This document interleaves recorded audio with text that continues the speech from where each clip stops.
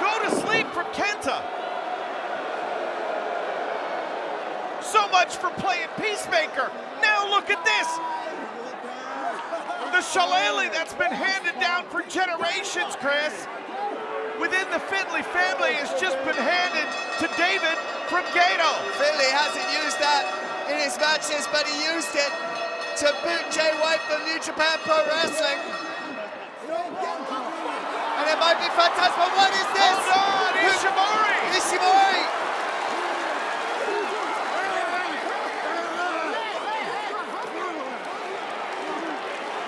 Bullet Club's goodness tag team.